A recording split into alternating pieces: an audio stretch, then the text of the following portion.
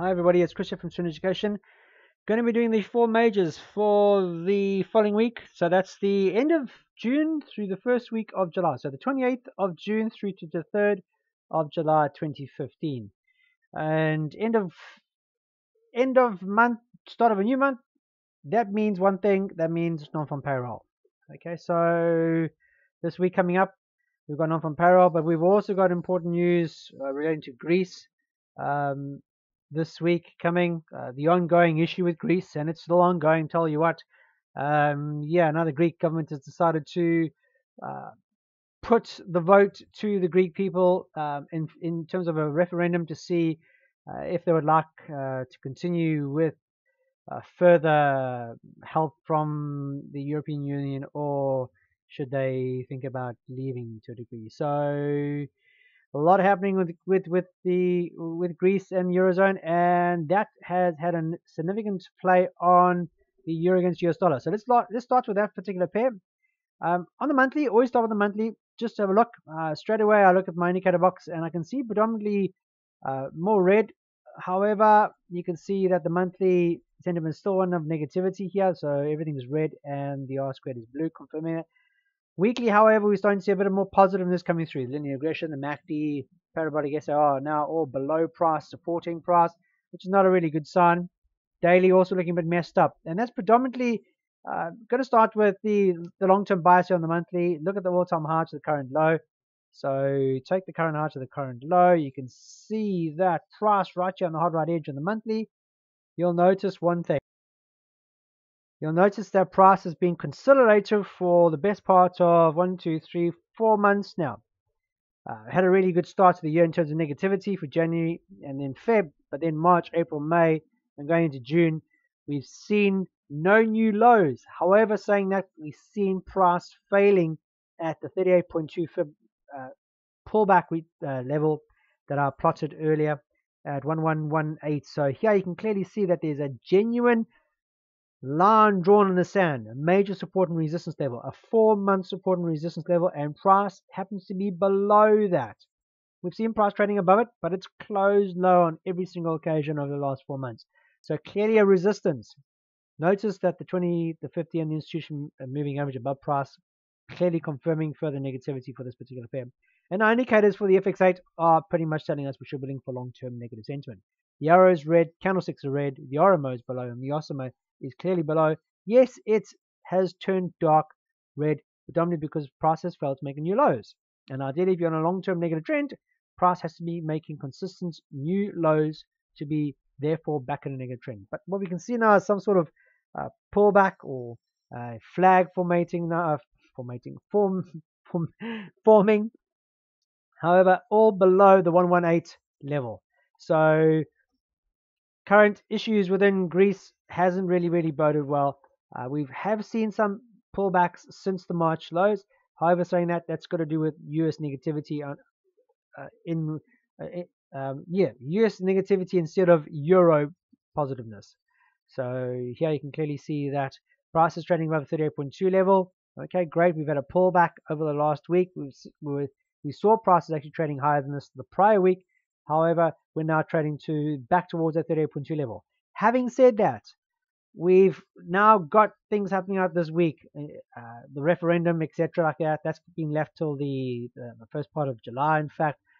But the uncertainty now that lies within Greece uh, has caused a major consolidation, uh, hesitation within the markets, all the global markets, but also very much so in the euro against US dollar. And you can see that price has been quite consolidative over the past couple of months. So, having said that, got to stay above the 38.2 level to then look for potential buying opportunities to the upside going going into the new uh, month of July. In fact, because you can see that we're not making any new lows. Okay, we haven't made any new lows since March of 2015, and subsequently we've seen higher highs, oh, well, swing highs. Let's put it that way. We haven't seen any new highs being created in terms of long term, but we have seen swing highs, swing high, swing high, etc. So for price to be now more of a change in trend, we would need to see the February resistance level has been broken, which would also be the May 2015 has been broken, and also currently the June resistance level high has also been broken. So clearly here there's a clear support and resistance level here at 1142 and also the fib level. So trading above the major fib level, but still not making new highs over the last couple, or over 2015 in fact. So we do see uh, some sort of um, deal with Greece and the creditors within the European Union uh, through the ECB and the IMF, etc., and the European Commission. That would then potentially put more bias to the upside. But until then, you're seeing price consolidating. And is it worth trading consolidation? For me personally, not a chance. I'd rather give it back. I'm waiting for Greece to come out with a clear objective. Everybody's happy with it. Then we could see a recontinuation of, of, of bias, whether it be further negativity for the euro or a pullback to see a, a, a new start of a new trend to the upside for 2015. So be it.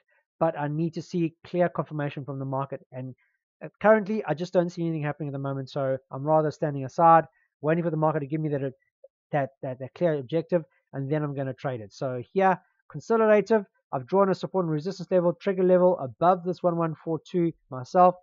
Having said that, I've also put a support and resistance line at the prior swing high, which was back here in early May, around about that 1095 level. Got to clearly see a break close lower than that.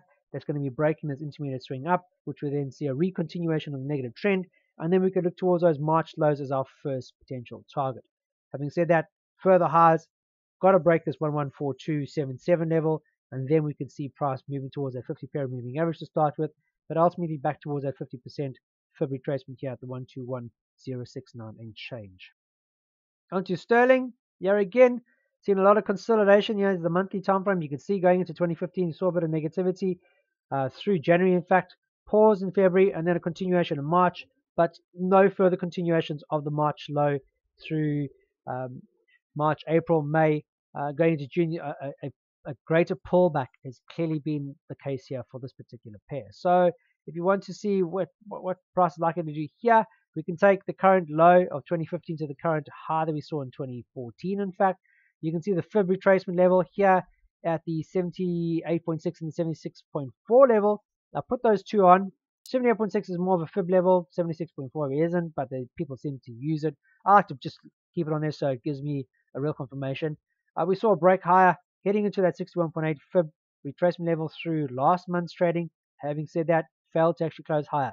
This month, we've seen price consolidating at the 78.6 and then a lot of positive growth for sterling against the US dollar over the month of June, and that's taken us clearly above the 61.8 and into the 50% retracement level, which also happens to be the 20 period moving average as well as the 50 period moving average on our monthly. So here again, the bias long term has been negative, but you'll notice that we're starting to see a lot more positiveness coming through, especially through the, the, the smaller time frames, aging its way through the, the four hour, the daily, the weekly, etc., as we've failed to see any further negative sentiment as we would expect to see on the long-term sentiment. So no new lows since March. So therefore, more bias coming in for the bulls, and that has pushed price up over the last three consecutive months. Dropping down to the weekly, you can see that price now is trading by the 20, the 50, but clearly having an issue with the institution moving average, which happens to be the 50% fib retracement level that I drew on the chart earlier. So here, if we are to see any further bias to the upside, would need to see a daily counter close as current this this new week proceeding going to July to close higher than the 50% retracement you had 1588 and change to then look at a likely target being the 38.2 level at 169 sorry 1619 and change for the foreseeable future. So dropping down to the daily, you've got to see price trending above the 50 and you can see that we've seen a lot of consolidation over the past week as things come unstuck within the eurozone and the hesitation that's caused because of all those Greek issues that have been imposed on European community. So here, one or two things.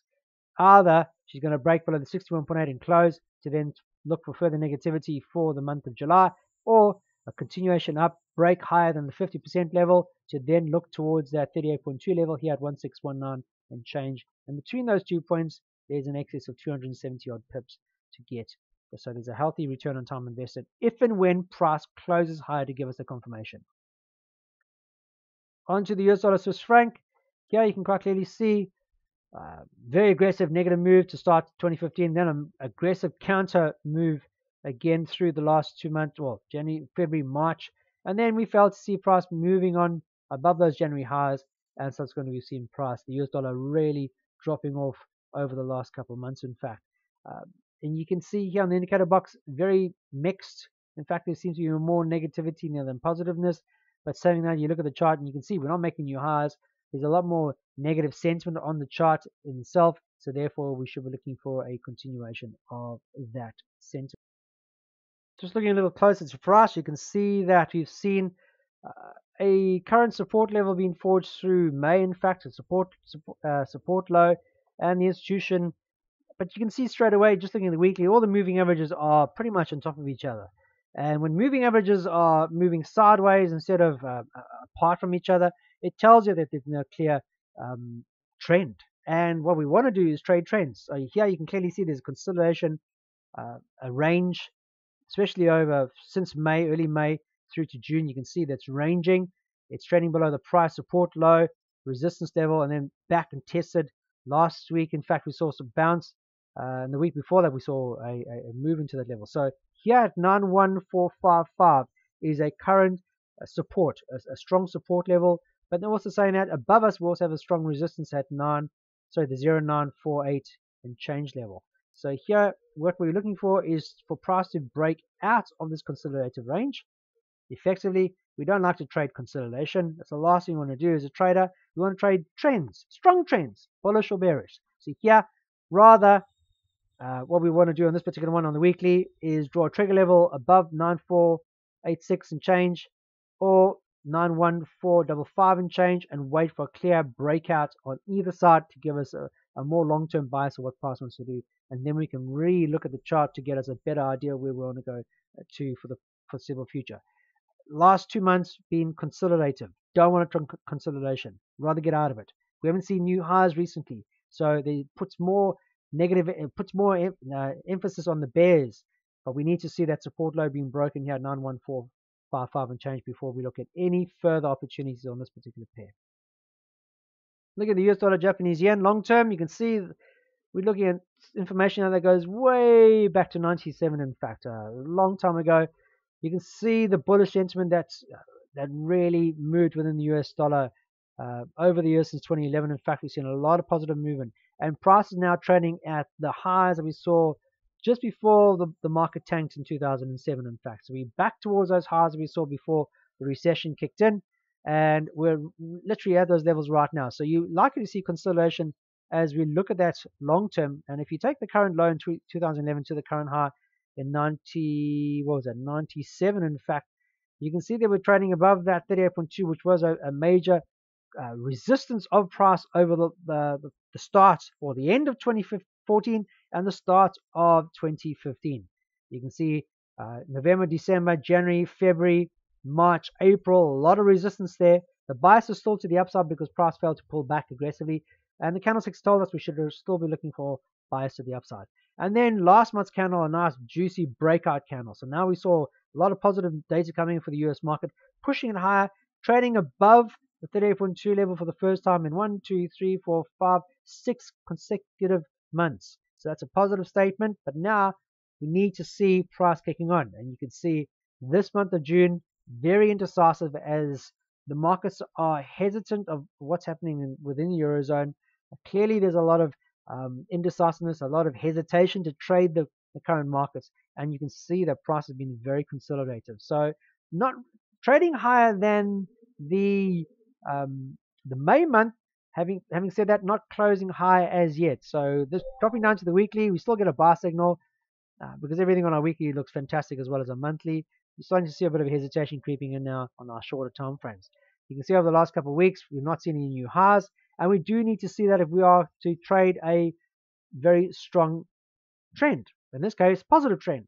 So pullbacks are good. It's still trading above the current resistance level highs with a November high the February March high. Now that would be our safety net at 121735 would be our first safety net, but the 38.2 level would also be our second safety net here at 119. Continue to stay above those levels. Continue to look for US dollar strength against the yen.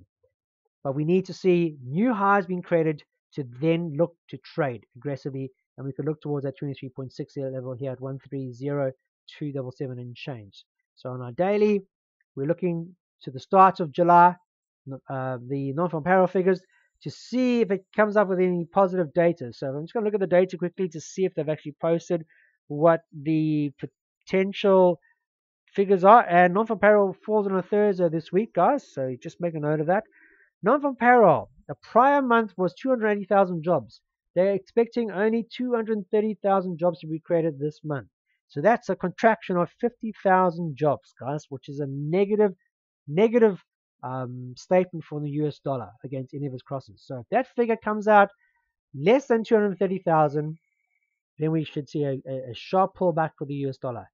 Okay, very, very important. We're also looking at the unemployment rate.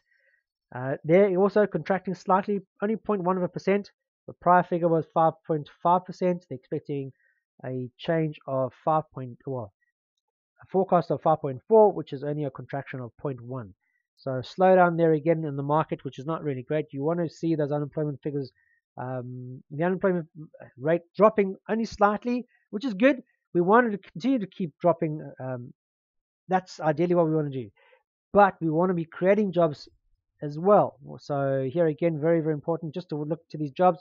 And we've got to see if we're going to see price moving out of it. But having said that, people to be more vigilant on what happens within Greece to see what the outcome is there before we see any further movement on the market. So here again, just bide your time, be patient, wait for the market to clearly give us our direction, and then we can trade the outcome on that. So here, a lot of speculation, uh, a lot of hesitation on the markets, as you clearly seen on the the last, you know, the four majors I've just mentioned. Please, please, please, rather be patient, okay, guys. We've got to see what happens in Greece, and I can assure you, whatever the whatever the outcome is in Greece, we will then see a move. And what we want to do as traders, we can trade both sides of the market. We can trade short and we can trade long, but we can't trade consolidation. And if prices are consolidating, the last thing you want to do is trade consolidation because you're trading risk. You're trading indecision, which is risk. Okay, so wait patiently for a, a breakout of those consolidative ranges to then trade comfortably with market sentiment. And then all you got to do is back it up with sound money management rules and you're on for a winner. Okay, I'm going to leave you with that. I hope you have a fantastic start to the July month. Let's hope we get some movement soon because prices have been very, very stagnant, very indecisive. I know you've got to be patient. We have to be patient, but we will be rewarded when price decides to move again. So have a fantastic week. Keep it simple, and most importantly, trade serenely.